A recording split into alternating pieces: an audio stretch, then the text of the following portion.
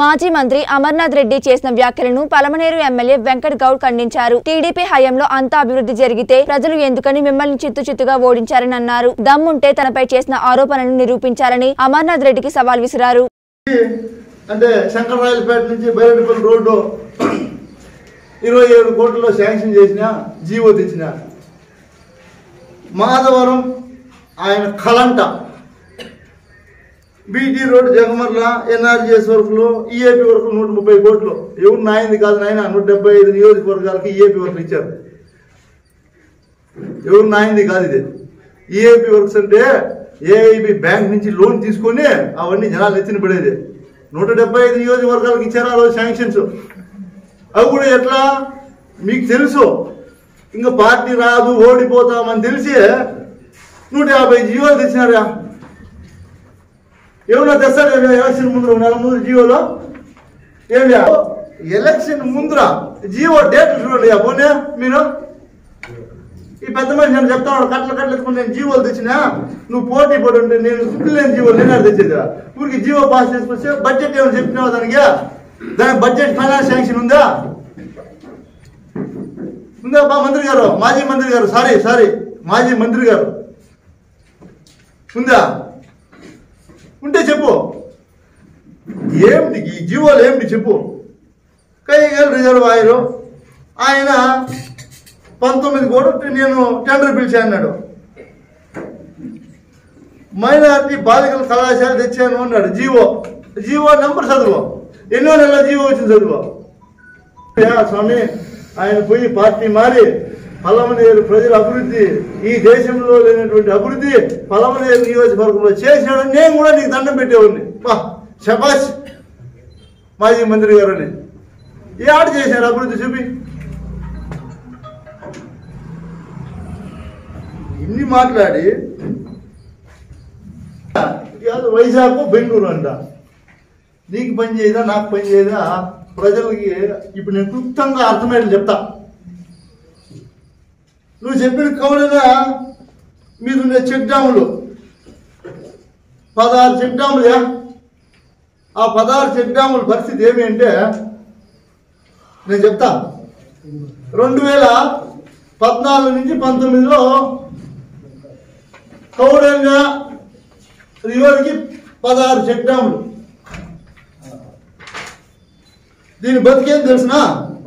అసలు విషయం మీకు చెప్తా అందరికీ. ఈ పదహారులో అప్పట్లో ఉన్నటువంటి సిఈ సాబ్ జాన్ గారు విజిట్ చేశారు. సిఈ గారే వచ్చి విజిట్ చేశారు. ప్రమాణం చెయ్య. దీనికి నాకు సంబంధం లేదు.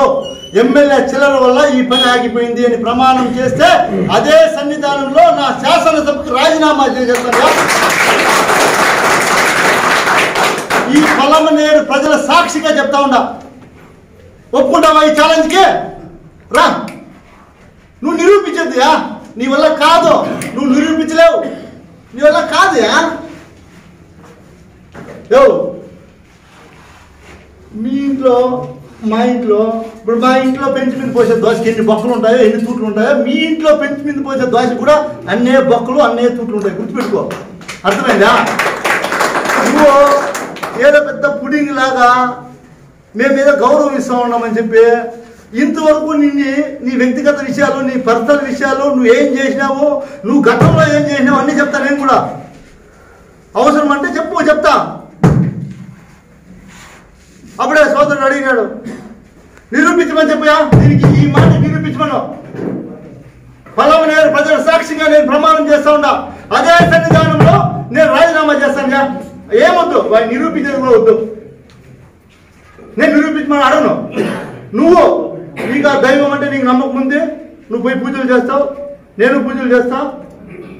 కాబట్టి నువ్వు ఇంతే. ఆ శ్రీనివాస కన్స్ట్రక్షన్కి నాకు సంబంధం లేదు నేను వాళ్ళతో ఎప్పుడు కలవలేదు వాళ్ళని నేను టెండర్లు వేయలేదు.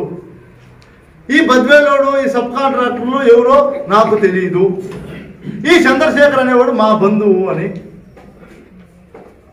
నేను చిల్లరలు అడిగి వాళ్ళు పని నిలిపేసినారని ఈ ఐదు పాయింట్లు చెప్పి దీనివల్ల ఈ పని అయిపోయిందని నువ్వు ప్రమాణం చేస్తే నా శాసన సభ్యత్వానికి నేను రాజీనామా చేసి ప్రజలందరికీ కూడా పొలంనేరు ప్రజలందరికీ కూడా నేను చేసింది తప్పు ఒప్పు ఆ భగవంతుని కనిపిస్తానయ్యా నీకేం చెప్పాలి పని నేను? నన్ను ఏం చేయమంటా చెప్పు. నువ్వు ఈ ఛాలెంజ్కి రెడీ అయితే నేను రెడీ నువ్వు ఎప్పుడు చెప్తానంటే నాకు ఫోన్ చేయమని చెప్పి నువ్వు నేను నేనే గుడికి వస్తా. ఎందుకంటే ఇంకో కార్యక్రమం పెట్టినా ఇప్పుడు. నీ వల్ల ఇంక నాకు వారం రోజులు లీవ్ గడప గడప నిలిపేస్తా ఉన్నా. ఎందుకు అంటే సోదరుడు అడిగినాడు క్వశ్చన్. మేము ఏం చేద్దాం చెప్పు వాళ్ళ మాదిరి గోల్డెన్ స్పూన్లో పుట్లే మా దగ్గర వందల ఎకరాల భూములే మా అబ్బాయి ఎంపీ కాదు. నేనేదో రామా గోయిందా అనుకొని పని చేసుకొని కూలని అలా చేసుకొని ఆ భగవంతుడికి అవకాశం ఇచ్చి ఒప్పు పెట్టేదికి ఈరోజు జగన్మోహన్ రెడ్డి గారు దయ పొలం నియోజకవర్గంలో మన ఇచ్చేసినటువంటి మీడియా సోదరులందరికీ కూడా నేను ధన్యవాదాలు.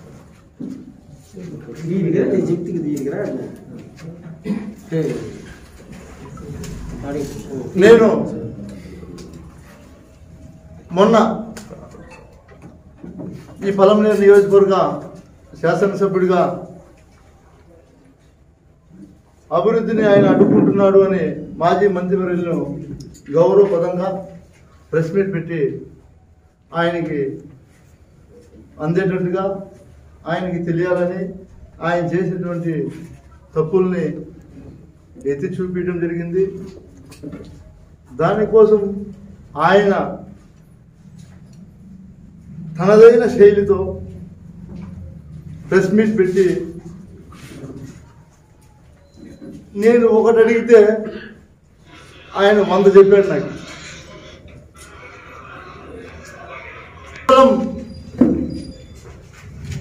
నా నియోజకవర్గంలో ఈఏపీ వర్కులు నీ వల్ల ఆగిపోయినాయి. కొంచెం సహకరించు. అవసరమైతే శాసనసభ్యులు నేను కూడా ఒక మెట్టి దిగొచ్చి మీరు రండి వాళ్ళని పిలవండి మాట్లాడదామని కూడా నేను చెప్పడం జరిగింది. అడిగింది నేను ఈఏపీ ఎందుకంటే దాదాపు నూట ఇరవై నూట ముప్పై గ్రామాలకి ఈరోజు రాకపోకలు ఇబ్బంది జరుగుతా ఉంది కాబట్టి గౌరవంగా ఆయన కూడా మాజీ మంత్రిగా ఇరవై రెండు నెలలు నేను మంత్రిగా పనిచేసిన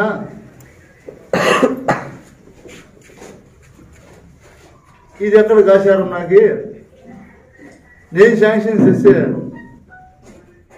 నేనే చేయాలని ఏముంది?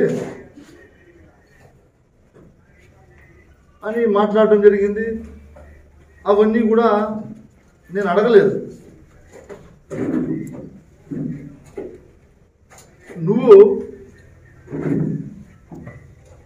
నేను అడగని దానికి కూడా రియాక్ట్ అయ్యి నేను పలమనేరు ప్రజల అభివృద్ధి కోసం పార్టీ మారినాను అన్నావు. ఏమియా రహీం ఖానా? నువ్వేమో మారుతా అన్నోడు నువ్వు ఆ రోజు ప్రెస్ మీట్ పెట్టి నువ్వు మాట్లాడినలా నువ్వు ఆ రోజు ప్రెస్ మీట్ పెట్టి నేను అభివృద్ధి కోసం పార్టీ మారుతాను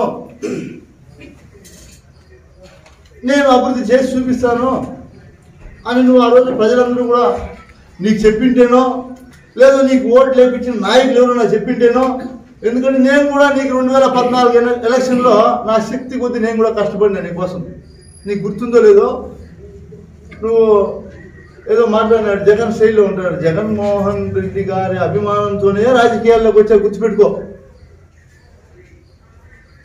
వాళ్ళ తండ్రి గారు రాజశేఖర రెడ్డి గారు స్వర్గీయులైన తర్వాత కేవలం చంద్రబాబు నాయుడు గారు అండుకో చేసినటువంటి కుతంత్రాలతో ఆయన జైలుకి పంపించారు కాబట్టే నేను రాజకీయాల్లోకి వచ్చా గుర్తుపెట్టుకో. అంతకుముందు నీ మొహం కూడా నేను చూడలే.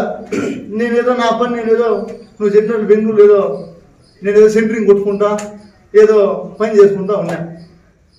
నువ్వు వైఎస్ఆర్ కాంగ్రెస్ పార్టీలో పాపం జ్ఞానేంద్ర రెడ్డి పెద్ద ఆయన తిరుగు పుడింగిలాగా ఉన్నానని చెప్పి జగన్మోహన్ రెడ్డి జైల్లో ఉండిపోయి గెలిచినావో లేదో ఇంకో నేను లాబీ చేసి ఎట్లా ఇంక జగన్మోహన్ రెడ్డి గాలి వచ్చేస్తా ఉంది? మనం ఇప్పుడు తలకాయ నొప్పి ఇట్లే ఉండిపోతామని చెప్పి నువ్వు పార్టీ మారి పార్టీలోకి వచ్చావు. వచ్చిన తర్వాత కూడా నాకు పరిచయం లేకపోతే నేను వేరే వాళ్ళకి చెప్పి మా గ్రామానికి కూడా నేను ఆహ్వానించి నీకు ఏం కావాలో చేసాము ఆ రోజుల్లో. నీకు గుర్తుందో లేదో నువ్వు మర్చిపోయావు నీకు అది నీ విజ్ఞతకే వదిలేస్తా.